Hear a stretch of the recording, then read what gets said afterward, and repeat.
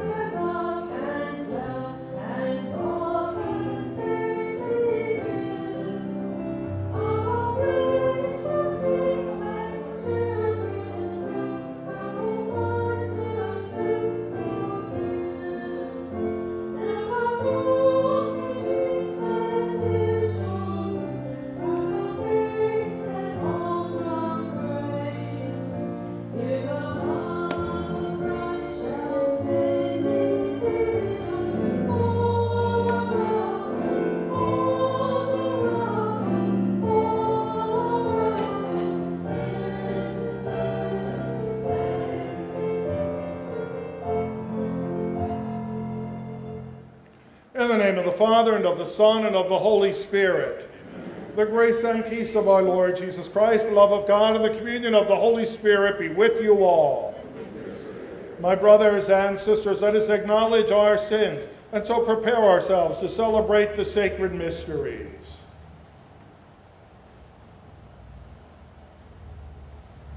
Lord Jesus, who are the way, the truth, and the life, Lord, have mercy. Lord Jesus, you plead for us at the right hand of the Father, Christ, have mercy. Lord Jesus, you feed us and strengthen us with your sacred body and blood, Lord, have mercy.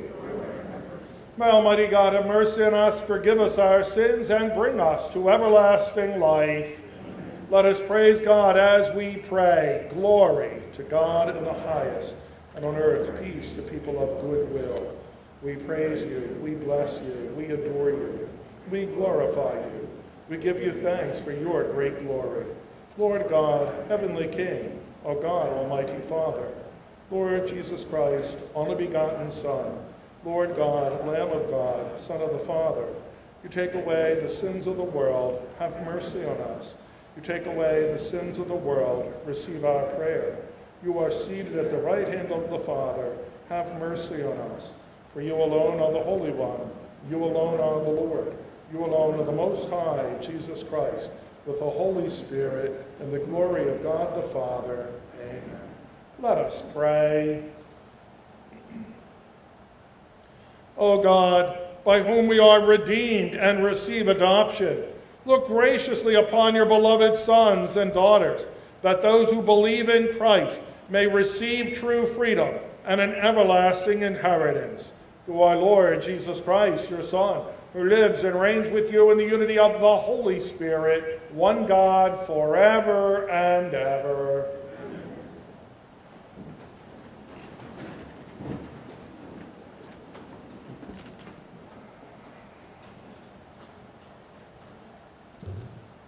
A reading from the book of the prophet Ezekiel.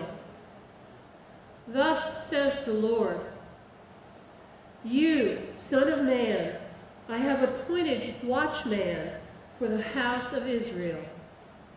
When you hear me say anything, you shall warn them for me. If I tell the wicked, O wicked, you shall surely die, and you do not speak out to dissuade the wicked from his way, the wicked shall die for his guilt. But I will hold you responsible for his death. But if you warn the wicked, trying to turn him from his way, and he refuses to turn from his way, he shall die for his guilt. But you shall save yourself. The word of the Lord. Thanks be to God.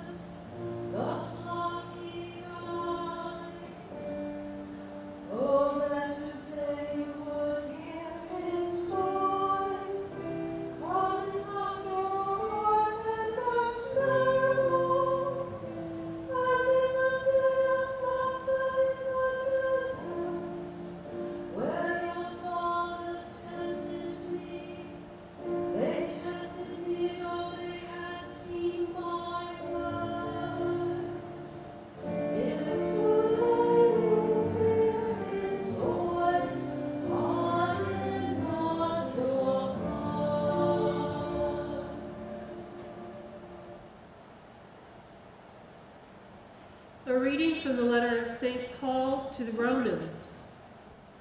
Brothers and sisters, owe nothing to anyone except to love one another. For the one who loves another has fulfilled the law.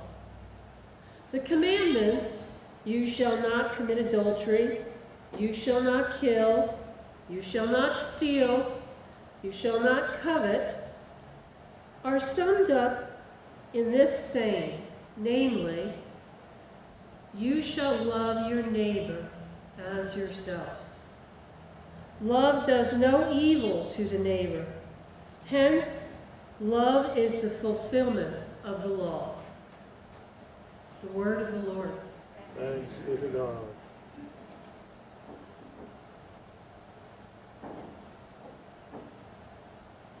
The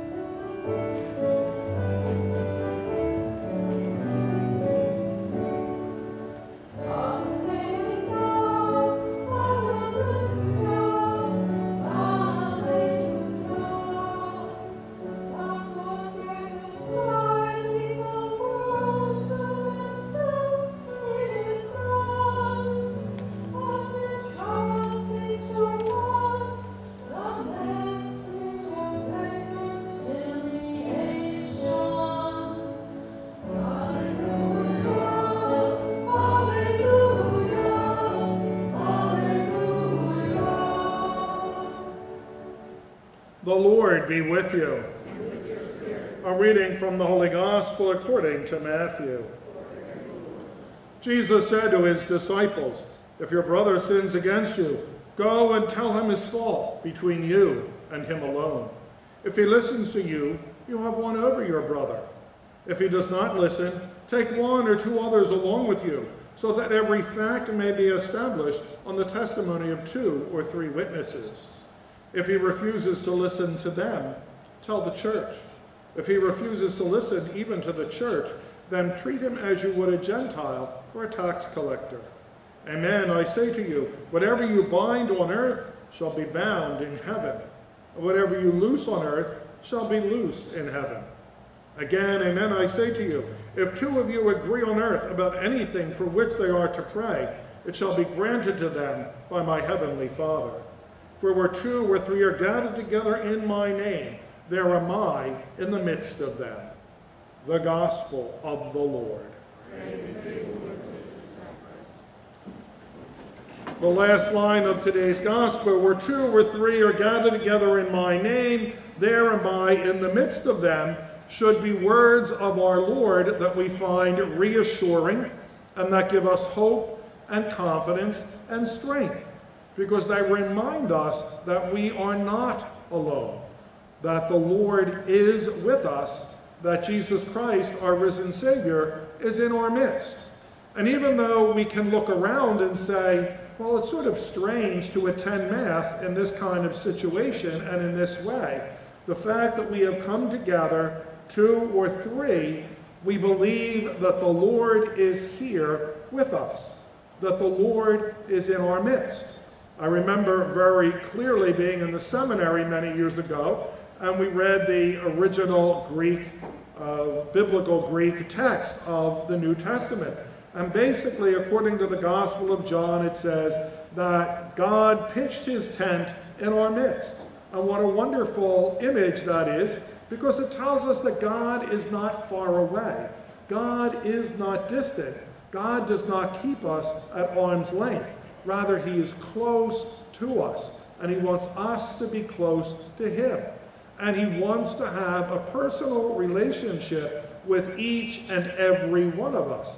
And no matter who we are, no matter where we're from, no matter what our position in life may be, each and every one of us is highly treasured and highly loved by Almighty God. So I think we need to be mindful of that reality. Does anyone here subscribe to the Magnificat? Anybody get that? Okay, a few people do. Does anybody have it with them? Okay, oh good. All right, well I'm going to give you homework if you subscribe to the Magnificat. I want you, when you go home, to turn to page 78 and read that one brief little page. And I'm actually going to read some of it to you because earlier in the week I read this and I, I just, there's one line that I just thought was absolutely magnificent. And it's written by Bishop Robert Barron. And the two lines I'm going to read to you are It is a peculiarity of Christian prayer that it is not so much directed to God who stands outside of the one who prays, but rather that it takes place, if I can put it this way, within God. In baptism, a person is grafted onto Christ, indeed, so intimately that he commences to share in Christ's own relationship to his Father. In baptism, a person is grafted onto Christ. What an interesting image. And I think we could reflect upon that, meditate upon that, think about that, pray about that for the rest of the day. In baptism, a person is grafted onto Christ, which again reminds us how special and how important we are to Almighty God. Many years ago in another parish, I did a baptism, and the little girl who was going to be baptized, her aunt was my director of religious education, and her grandmother ran our Christmas bazaar. She ran our church store, the religious goods store. She trained the lectors for the parish, so both of them were involved, so I knew them very well. So afterwards, I went down to have lunch with the family. And we were sitting there, a large group of people, and I remember grandmom saying to me, I'm so happy. My granddaughter is a little Christian girl. Now that she's been baptized, she belongs to God. And I thought, I've been a priest for 25 years and nobody's ever said that. But I thought, what an interesting way to describe it. And as soon as I read this words by Bishop Barron, that we are grafted onto Christ, I immediately thought of Nancy saying, My daughter is a little Christian girl. And that says, again, as Bishop Barron says, that in the eyes of Almighty God we are special. In the eyes of Almighty God we are unique and that God wants to be in our lives. He wants to have a relationship with us, and He reminds us no matter what, we are never, ever alone. As we walk through our pilgrim journey here on earth, God walks with us. At times, it may not seem like that, and I think for all of us, these past six months have been trying and difficult. They've certainly turned our lives upside down. And I can't help but think if we have not been affected physically by the coronavirus, that all of us have been affected emotionally and spiritually and psychologically. Because all that was normal isn't normal anymore. The people who we used to rely on for support and strength and comfort many times are not there or cannot be there or we cannot be there with them because of things like quarantine and social distancing and all of those things. So it's a new and different world. But we remind ourselves that we are walking with one another in a new way. Certainly, I hope that each and every one of us is praying for each other. That's one true and great gift that we can give to another person, is to pray for them. And even though we may not be able to get on a plane and go to Florida or California or Wisconsin where loved ones are, we certainly can keep them in our hearts in prayer to Almighty God. And that again reminds us that we're not walking alone during these difficult and strange days, even though we may be doing it from a little more of a distance than we would like, we are still walking with one another. And the Lord is still walking with us. So we don't have to be afraid. We don't have to be fearful. We don't have to be anxious because the Lord walks with us holding our hand. And in everything, the Lord has our back. I can't help but think of the Footprints poem where the man at the end of his life is looking upon his life and he sees that most of the time there were two sets of footprints walking with him or that were walking through life. And he sees that at different times there was only one set of footprints, and it was when he found things hard and rough and difficult and tough to get through. And he says to the Lord, Why is it that you walked with me through most of my life, but when things were really hard, you weren't there with me? And Jesus said to him, My son, that's when I carried you. So we are a people of hope. We are a people of faith. We are a people of trust. And we can be that for one simple reason because we know no matter what, the Lord walks with us. The Lord never leaves us alone.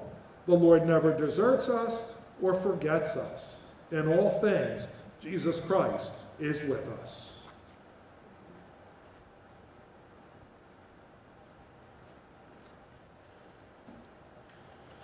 Let us stand and profess our faith in Christ and in his church. I believe in one God, Father Almighty, maker of heaven and earth, of all things visible and invisible. I believe in one Lord, Jesus Christ, the only begotten Son of God, born of the Father before all ages, God from God, light from light, true God from true God, begotten, not made, consubstantial with the Father. Through him all things were made for us men and for our salvation. He came down from heaven. And by the Holy Spirit was incarnate of the Virgin Mary and became man, for our sake he was crucified under Pontius Pilate. He suffered death and was buried, and rose again on the third day in accordance with the Scriptures. He ascended into heaven and is seated at the right hand of the Father. He will come again in glory to judge the living and the dead, and his kingdom will have no end. I believe in the Holy Spirit the Lord, the giver of life, who proceeds from the Father and the Son, who with the Father and the Son is adored and glorified, who has spoken through the prophets. I believe in one holy Catholic and Apostolic Church. I confess one baptism for the forgiveness of sins, and I look forward to the resurrection of the dead and the life of the world to come. Amen. With confidence in God's love and mercy, let us present him our prayers and needs. For bishops, priests, and deacons, may they who labor to faithfully share the good news, let us pray to the Lord. Lord, hear our prayer. For civil servants who strive to end racial inequity and violence, may local leaders lead efforts toward reconciliation. Let us pray to the Lord. Lord, hear our prayer. For the Diocese of Wilmington, to have an increase in priestly and religious vocations, let us pray to the Lord. Lord, hear our prayer.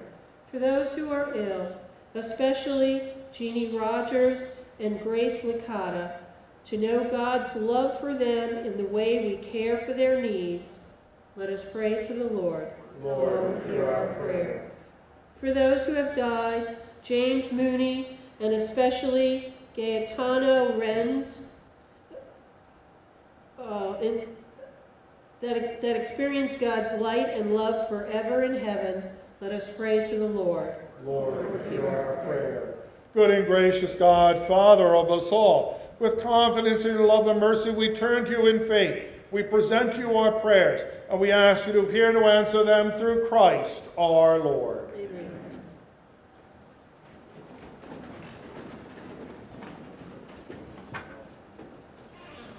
Blessed are you, Lord God of all creation, for through your goodness we have this bread to offer, which earth has given and human hands have made. It will become for us the bread of life.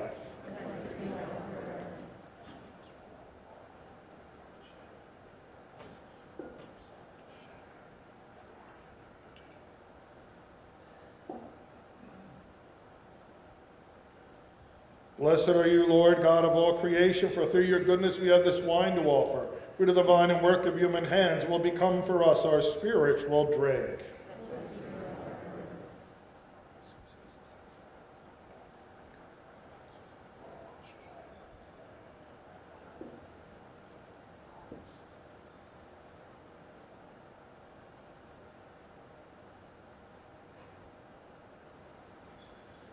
Let us pray, my brothers and sisters, that my sacrifice and yours may be acceptable to God, the Almighty Father.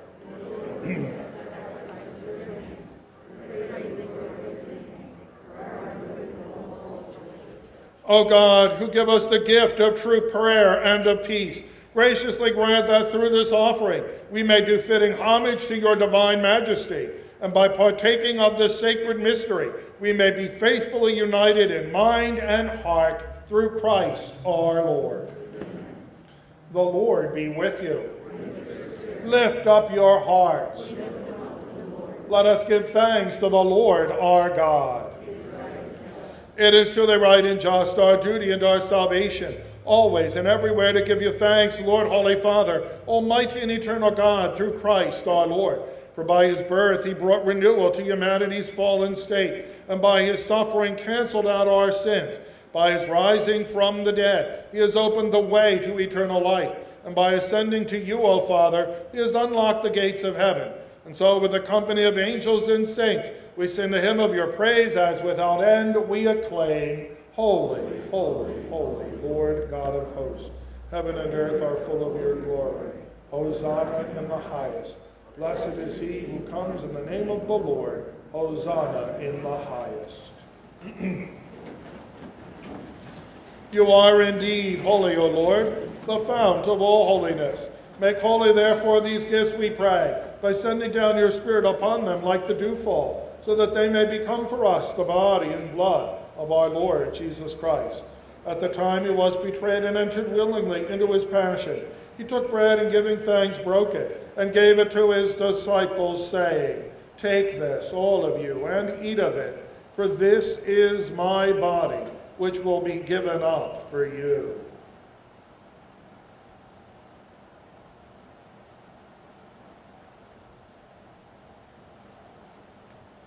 In a similar way, when supper was ended, he took the chalice and once more giving thanks, he gave it to his disciples, saying, Take this, all of you, and drink from it, for this is the chalice of my blood, the blood of the new and eternal covenant, which will be poured out for you and for many, for the forgiveness of sins.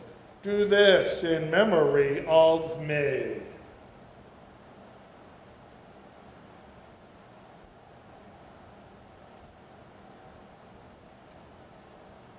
The mystery of faith. We proclaim your death, O Lord, and profess your resurrection until you come again. Therefore, as we celebrate the memorial of his death and resurrection, we offer you, Lord, the bread of life and the chalice of salvation, giving thanks to have held us worthy to be in your presence and minister to you. Humbly we pray that partaking of the body and blood of Christ, we may be gathered into one by the Holy Spirit. Remember, Lord, your church spread throughout the world and bring her to the fullness of charity, together with Francis our Pope, Francis our Bishop, and all the clergy. Remember also our brothers and sisters who have fallen asleep in the hope of the resurrection, and all who have died in your mercy. Welcome them into the light of your face. Have mercy on us all, we pray, that with the Blessed Virgin Mary, Mother of God, with blessed Joseph, her spouse, with the blessed apostles, with St. Anne, St. Juan Diego, St. John Vianney, and all the saints who have pleased you throughout the ages, we may merit to be co-heirs to eternal life, and may praise and glorify you through your Son, Jesus Christ.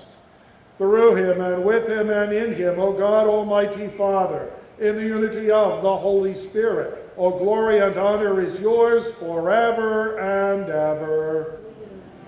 At the Savior's command and formed by divine teaching, we dare to say, Our Father, who art in heaven, hallowed be thy name. Thy kingdom come, thy will be done, on earth as it is in heaven. Give us this day our daily bread, and forgive us our trespasses, as we forgive those who trespass against us. And lead us not into temptation, but deliver us from evil. Deliver us, Lord, we pray, from every evil. Graciously grant peace in our days. By the hope of your mercy, we may be always free from sin and safe from all distress, as we await the blessed hope and the coming of our Savior, Jesus Christ. Lord Jesus Christ, you said to your apostles, I give you peace, my peace I give you. Look not on our sins, but on the faith of your church, and graciously grant her peace and unity in accordance with your will, who live and reign forever and ever. The peace of the Lord be with you always. Lamb of God.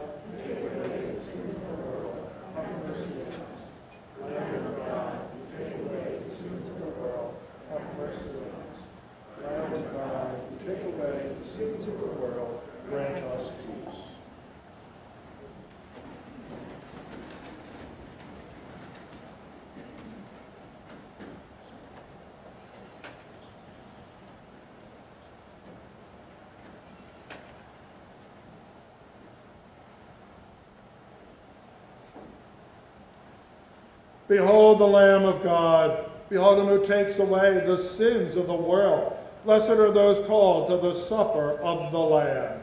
Lord, I am not worthy that you should enter under my roof, but only say a word, and my soul shall be healed.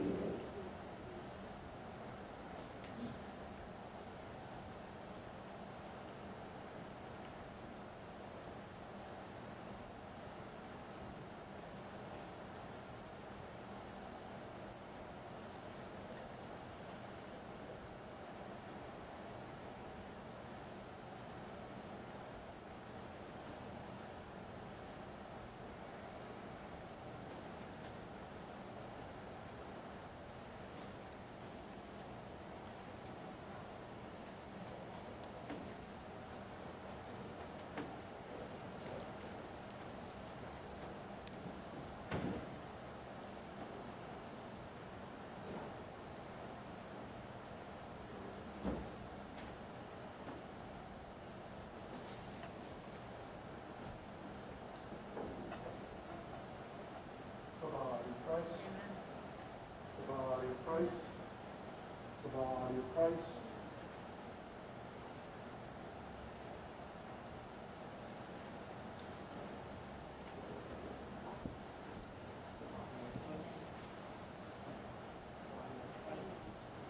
The body.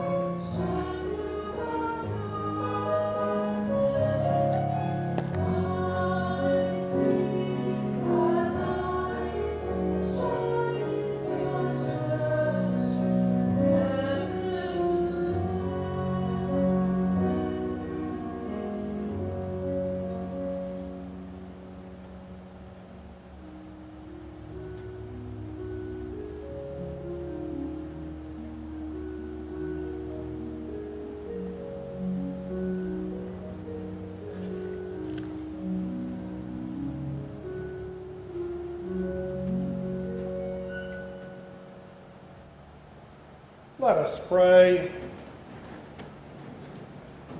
Grant that your faithful, O Lord, whom you nourish and endow with life, through the food of your word and heavenly sacrament, may so benefit from your beloved Son's great gifts, that we may merit an eternal share in his life, who lives and reigns forever and ever. The Lord be with you. May Almighty God bless you, the Father, the Son, and the Holy Spirit. Mass is ended. Go forth in peace.